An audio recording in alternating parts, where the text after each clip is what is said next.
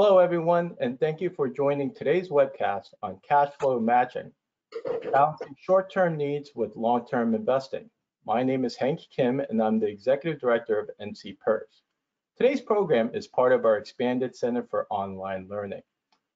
As we all adjust to the new COVID reality, please bear with us if there should be any, te any technical issues or unplanned background noise during our session. As always, your patience and understanding is appreciated. We encourage audience participation. Please submit questions by using the GoToWebinar portal. However, to ensure that we can cover all our topics today, we will hold your questions till the last part of the program. Today's webcast is sponsored by Goldman Sachs Asset Management. To introduce their firm in today's webcast, we have with us Michael Gousset and uh, Michael Moran. Michael Gousset is a senior fixed income portfolio manager and co-head of the Global Pension Solutions effort. He focuses on liability-driven investments and multi-sector fixed income strategies and has more than 20 years of investment experience. Michael Moran is a pension strategist at Goldman Sachs Asset Management, where he produces original research and thought leadership on issues pertaining to defined benefit plans. In this role, he advises clients on a wide range of topics related to asset allocation, pension risk management, and the impact of regulatory and financial reporting changes. Guys, at this point, I'll turn over the webinar to you. Thank you, Hank. And uh, thank you everyone for having us here today. We're excited to be with you and just wanted to do a quick reminder uh, that the, this webcast is not intended for the media. Uh, Goldman Sachs Asset Management is one of the world's leading investment managers. Uh, we have over 2,000 professionals across 38 different offices worldwide, providing institutional and individual investors with investment and advisory solutions with uh, strategy spanning asset classes, industries, and geographies. Our investment solutions include fixed income, money market, public and private equity, commodities, hedge funds, and real estate. Our clients access these solutions through proprietary strategies, strategic partnership, and our open architecture program.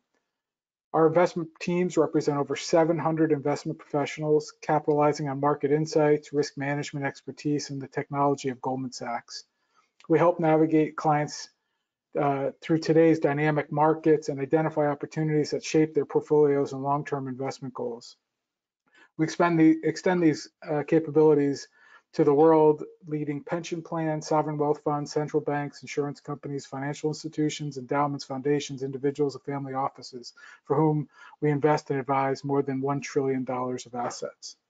So thanks again. Let me get that out of the way. And, um, you know, we're excited to be here to discuss what we think is um, one of the, the future uh, opportunities for the fixed income component of many pension plans. And with that, I'll hand to Mike to uh, start us off, and then we'll get into the weeds a little bit more. Great, thanks, Mike. And good afternoon, good morning to everyone. We hope everyone is, is safe and well.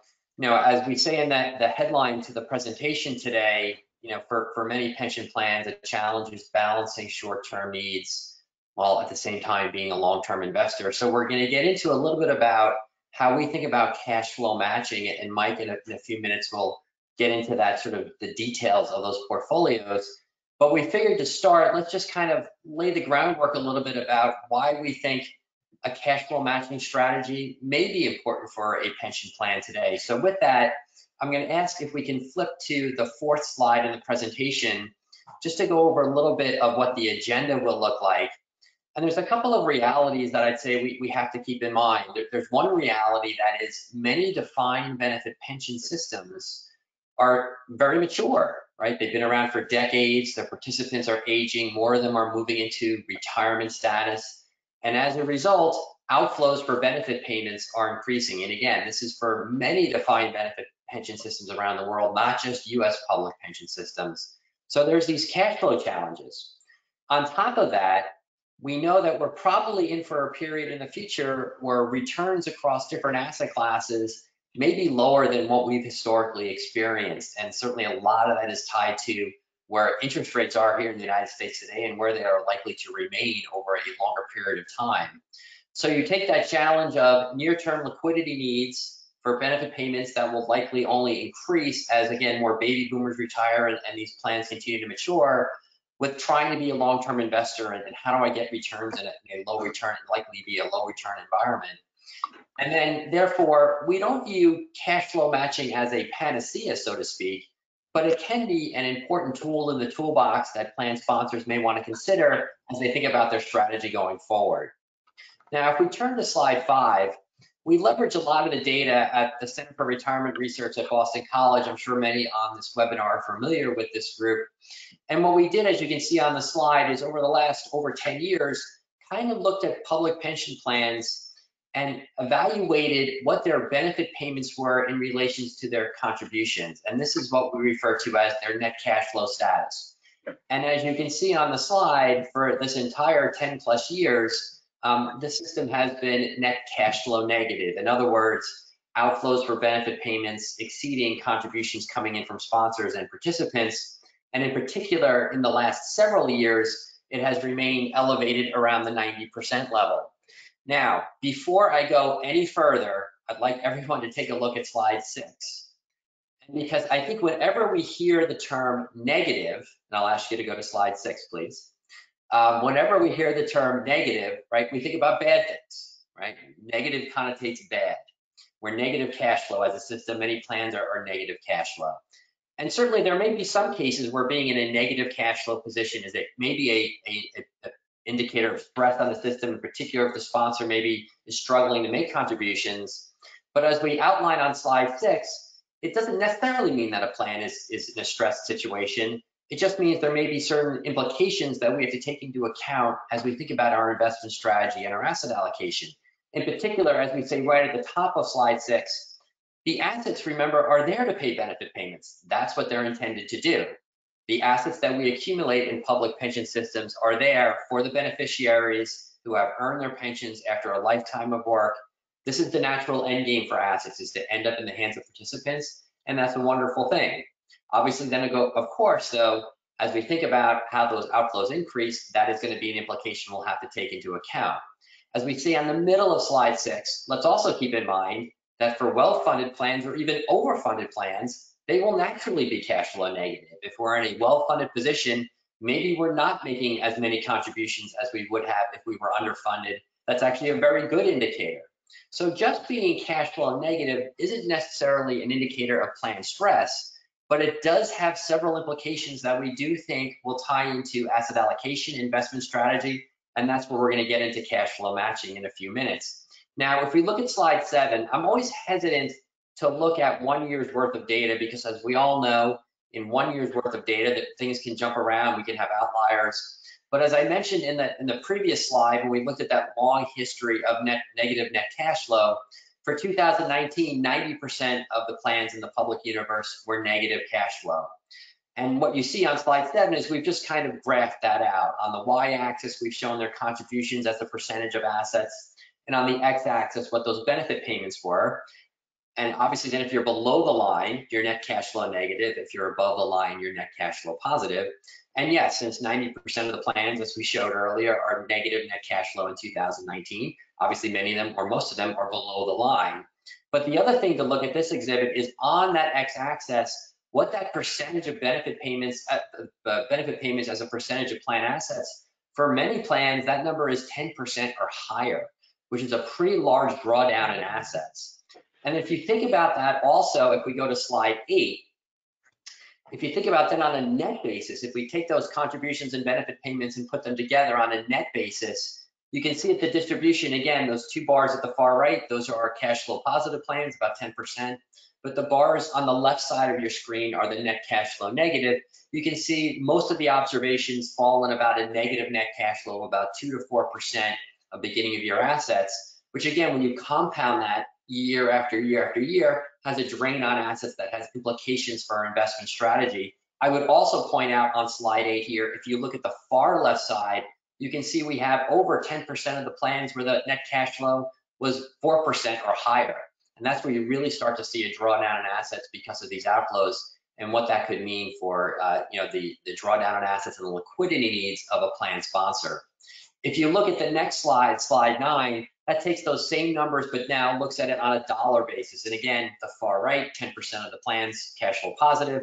Most of the plans you can see there that sort of a couple hundred million dollars cash flow negative, which again, if it recurs year after year, um, can have a sort of compounding effect on the drawdown in assets. But then again, if you look at the far left there, 16% of the plans in the universe over a billion dollars uh, net cash flow negative. Again, a one-year period, that may not mean it's persistent year to year, but we certainly know that benefit payments tend to be pretty persistent year to year, if not increasing. Um, and if contributions are following suit, what you see on this slide is indicative of sort of that asset drawdown that you may see every year. Now, if you turn to slide 10, please, what are the sort of implications of this for plan sponsors? And we think there are a couple that we'd want to highlight. At the top there, one of the things we just point out, and this is basically just math, right? If you are an underfunded plan and you pay out benefit payments, unless for the, the interest of simplicity, we assume there's no contributions in a given year. And when we pay out benefit payments, our assets and liabilities decline by the same amount. So if you look at and under the first section there on slide 10, we have a plan that has $900 of assets, $1,000 of liabilities. They're $100 underfunded. They have a 90% funded status. When they pay out $100 in benefit payments, assets and liabilities come down by the same amount. Our dollar deficit is unchanged. We're still $100 underfunded, but our funded percentage has fallen because the base of assets and liabilities have fallen. Same thing in the second section on this on this slide. Again, same example, $900 of assets, $1,000 of liabilities. We have a $100 deficit, which if we exclude contributions would require an 11.1% asset return in order to cure that deficit, to make up that $100, uh, $100 deficit. Once we pay out those benefit payments, we still have a $100 deficit, but because our asset base has shrunk, we now need a 12.5% return to make up that deficit. So those remaining assets really have to work harder as those benefit payments kind of draw down that asset base. So when we think about how plans potentially have responded to this, if we look at slide 11, please, we certainly know that over a longer period of time, there has been a very substantial move by public pension plans to alternative asset classes, in particular private assets. We've just taken here, again, leveraging data from the Center for Retirement Research at Boston College, looking at aggregate asset allocation from 2005 to 2019. We can see a couple of trends here. Number one, public equity has come down, but fixed income has come down as well. And where are those assets gone? They've gone particularly to alternatives, private equity, real estate, hedge funds. We don't have a breakout of that fixed income category within these pie charts, but certainly the move to private debt has been a, a substantial move by a number of institutional investors, including public pension plans. And yet, despite all these moves to more liquid asset classes, as you can see at the bottom there, the average expected return on asset assumption for these plans has actually dropped from 2005 to 2019.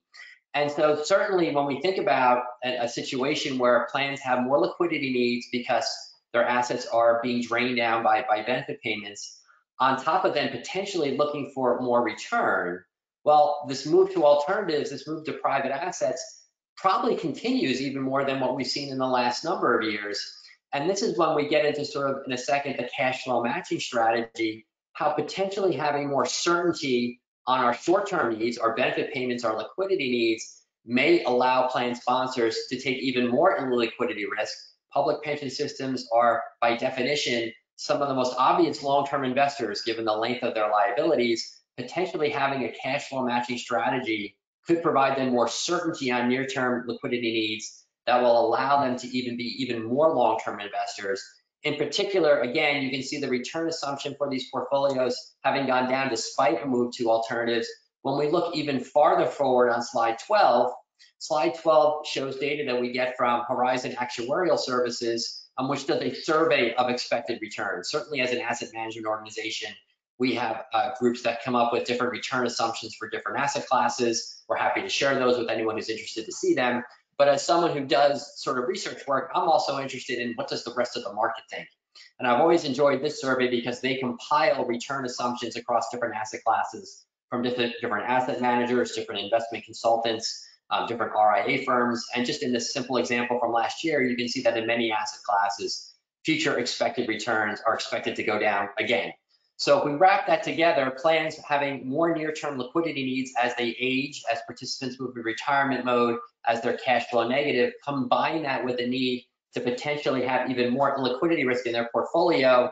How do we think about that? How do we think about a barbell strategy of marrying short-term liquidity needs with long-term investing? We think cash flow matching could be a tool in the toolbox to help plan sponsors address that. So with that, I'm going to stop, hand it over to Mike Gousset, who will take us through how we think about cash flow matching portfolios. Thanks, Mike. Uh, if we could turn to page 14 in the in the slide deck. Um, one of the things that we've spent a reasonable amount of time thinking about is given this change in the way that plan sponsors are going to be thinking about their liquidity bucket and their um, their their illiquidity bucket or their illiquid bucket, uh, coming up ways to build out portfolios that create certainty of cash flows. So rather than having to uh, rely on selling down assets, as we all know, dealing with the March and April periods of just this this past this past quarter, um, it can be difficult at times to get liquidity even in asset classes that are assumed to be very liquid, such as public equities or um, or fixed income. And so creating portfolios that allow the plan sponsor to be able to increase their illiquid risk to be able to garner returns that are more consistent with what they need to achieve in order to meet their long-term uh, funding plans uh, brought us to the point of thinking through how do we build out cash flow matching portfolios. Now, certainly there are have been different versions of this over time. This isn't a, a brand new thought process, but rather than just using your your capital uh, to be put into a STIP account or into a laddered treasury portfolio, we thought through utilizing the actual anticipated benefit payments that the sponsor needs to be invested against rather than a more traditional benchmark. And so this allows for a more bespoke, customized solution which aims to uh, create those certainty of, of, of, cash flows to meet those benefit payments. Um, the, the details of which we'll go through in a little bit more details uh, in a second, but uh, the, the point of this entire exercise is to build out a stable set of cash flows that are there to meet near-term or even long-term uh, anticipated benefit payments while allowing the rest of the asset allocation decisions to be driven towards that higher um, that higher allocation to, uh, to, to more growth-oriented assets. If you flip to page number 15, we flipped through some of the different options that, that plan sponsors can think about. Um, talked briefly about number one, and I'll get into more detail on that in a second. Some of the other things that have been done over time are as simple as just buy and hold credit, just owning uh, corporate bonds in a variety of different forms that have uh, different maturity profiles, different rating profiles, with the goal of creating a, a, higher yielding portfolio and one that can be sold down as, as necessary. Um, there's certainly uh, some credit risk there, um, but again, to compare that to the cash flow matching strategy, you're not necessarily creating uh, the, the liquidity to be occurring at the exact same time when the plan sponsor needs to get that, that payment made. You compare that with some of the lower yielding strategies in options three and four, where you start to think about more traditional um, uh, cash balances held at your custodian bank where it's relatively risk-free, but very, particularly in today's environment, very low yielding uh, and doesn't create much in the way of interest rate or duration sensitivity um, which option four gives you a bit more of, but is also a pretty low yielding portfolio, uh, given that you're just really buying treasuries that are laddered out the uh, laddered out the curve. So if we think about option one as being something that allows you to get some certainty of cash flows, that is a portfolio that's built given the customized objectives of each plan sponsor to, to create not only these cash flows, but do so in a manner that's consistent with the risk profile that each plan sponsor is looking to take, you start to think about um, ultimately building out, and if you look at, at page number uh, 16, how does this how does this work?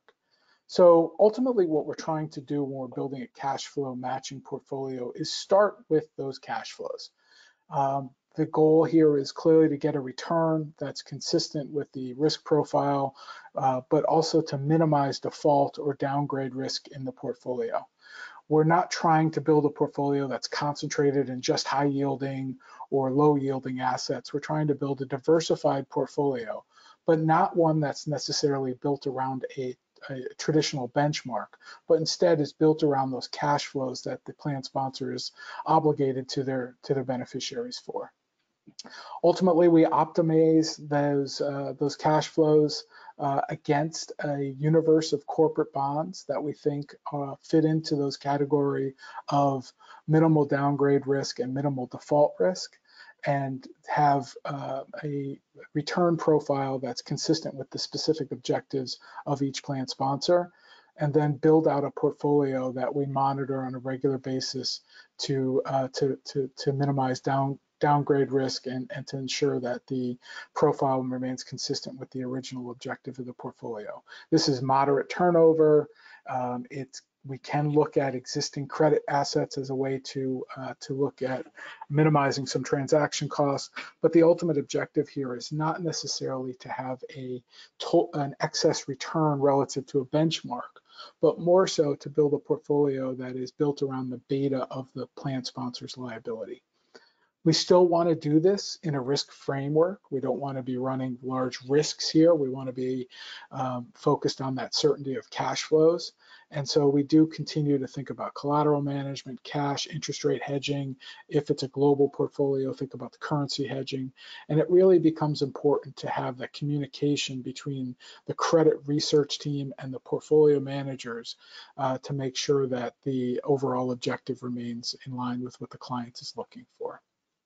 So if we kind of pull this all together, um, the, the overall objective here can be to meet the first three years of cash flows or meet the first three or five years of cash flows. We have some plan sponsors that look even longer and, and look to meet, match cash flow uh, payments that are due over the next 10 years or, or even longer. The, the idea of this whole um, the, this whole process is that it's customized to each specific plan sponsor's objective rather than it being built relative to a market-based um, traditional benchmark. And if you flip to page 17, please, uh, there's some examples of some common constraints that we've utilized over time. Uh, um, you can you can kind of see that they're they're built to the specifics of what each portfolio was designed to do and that again that they can be customized to mitigate risks that that a plan sponsor is looking to mitigate whilst keeping in line with that cash flow matching or the cash flow driven uh, investment objective.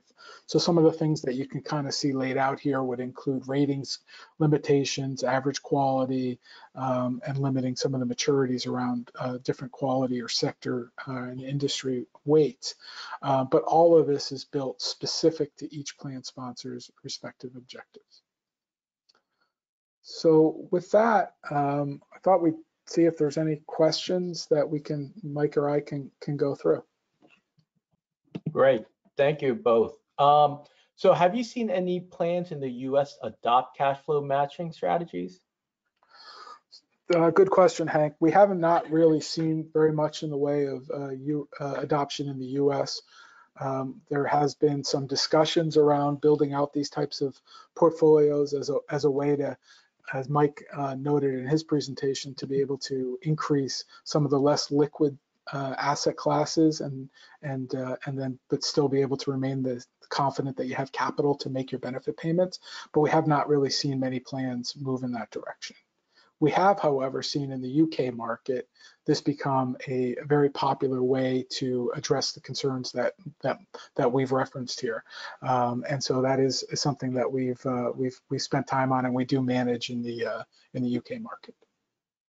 And if I could just just add as well, I think to Mike's point, we haven't necessarily seen plans adopt cash flow matching what we have seen are plans start to build up their liquidity buckets, recognizing that their outflows are going to be increasing, right? This is not just a situation for 2019, 2020, but as we look out at the actuarial projections of outflows, um, it, it becomes pretty clear that this is just going to continue. And so we see plans building up liquidity. And then I think from our perspective, the question becomes, well, then what's the right mousetrap? What's the right way to approach this? And, and Mike, you say, walk through a couple of things that some plans do, whether it be just using cash from, you know, that they keep in, in a STIP to fund benefit payments. Sometimes we've certainly seen plans um, you know, think about other ways to kind of manage that liquidity pool. And what we're here today to say is, well, we think this is actually maybe something that plans should think about if they're starting to build up more liquidity as a way to potentially get a little bit more yield in what will likely be a, a low yield environment. And so, Mike Moran, just uh, jumping on that point, um, you know, how does interest rate impact uh, this strategy? So I'll make a couple comments and then I think Mike Gousset will probably make some as well. But I think there's two ways to think about this. One is as we build up liquidity and as the return on just short-term investments goes down, can we get some sort of incremental return on a part of our portfolio that may be larger going forward than it has been in the past? That's one way to kind of enhance returns. But the other part of it comes back to what we talked about earlier, that just returns across a wide variety of asset classes are coming down. And so if returns are coming down in public equities, public fixed income, then we may have to think even more about returns for illiquid asset classes. And as we've outlined, and as I'm sure everyone on this call knows and appreciates, we've seen many public plans increase allocations to private equity, real estate, infrastructure. And given a low return environment going forward, they may have to think about increasing them even more. But that's again the tension between if I'm going to increase allocations to more illiquid asset classes, then maybe at the same time I need to increase allocations to more of my liquidity bucket to make sure for the next couple of years I have those benefit payments locked down. I don't have to worry about being a forced seller in an environment like we saw quite honestly in the first quarter of this year. Yeah, I think I think the other way to think about this is that yes, interest rates have fallen, expected return on that on the, the fixed income asset class has fallen to reflect that, but more and more of the expected return going forward is going to be driven by credit assets and fixed income. And so as you start to think about the increasing allocation to corporate bonds, it does come with different risks than, say, owning a cash pool at your custodian or having a laddered treasury portfolio. You do have to think about downgrade risk, default risk, concentration risks. And so you start to move away from perhaps the objective of this liquidity bucket uh, as you go into one of those other other options that I that that I had laid out earlier. So building out the cash flow matching portfolio gives you that extra return profile that a corporate bond provides, but it does so in a manner that's consistent with what your anticipated payments are going to be over some period of time. So gets you a little boost to return because we do know that more of the fixed income return going forward will be driven by credit spreads and credit carry than it will be by interest rates, just given the levels of each. Um, and, but you still want to make sure that you're building out a portfolio that has a profile that's consistent with what ultimately you're trying to achieve here, which is something to pay your benefit payments. So last question. Um, so, uh, you know, uh, certainly in the US and I guess in particular, our audience group, uh, public plans really haven't adopted this yet. Uh, what do you think is the hurdle? And as public plans consider it, um, what are the things that they should be checking off or, or looking to as they look to implement this strategy? Uh, I'll, I'll, throw some comments out, Mike, and then please chime in. Uh, I certainly think that it's really important to understand the credit markets, to understand the fixed income markets more broadly. Um, we are going to be entering into an environment where default risk and downgrade risk will continue to grow. And so having the depth of credit resources, both from an analyst uh, and as well as a trading perspective, really is important to any mandate, not just this one, but any fixed income mandate, as we will go through this round of, of, of potential defaults and downgrades. Um, the other part of this that really is is vital is understanding ultimately those cash flows. It's it is not an off-the-shelf benchmark that we're looking to manage to. We need to be able to understand those cash flows, model those cash flows, have systems to be able to handle it, and then be able to report it back to the client. So the plan sponsor can understand not just what they own for the purposes of, uh, of, of, meeting these benefit payments, but also have a good sense of the risk profile uh, versus their liability itself. And so um, having not only that credit research and the, the, the, broad credit capabilities is, is vital to being successful in these types of mandates, but also as they as plan sponsors look at it, it becomes really important to have those depth of resources around actuaries, systems to be able to handle these kinds of bespoke customized mandates. So I'll just add two things in terms of like, you know, as you point out and as we discussed, maybe plans aren't doing it today. What do they have to think about? Maybe if they're going to do it going forward. I mean, I think part of it is number one, changing behavior. So a lot of it comes back to how did I fund benefit payments in the past? A lot of times it was, well, whatever the contributions come in, we just keep them over here for a few days and then we send them out the door for, for benefit payments. Or to the discussion we had earlier, maybe we just, you know, sweep money to a, a STIP fund at our custodian and we just draw that down.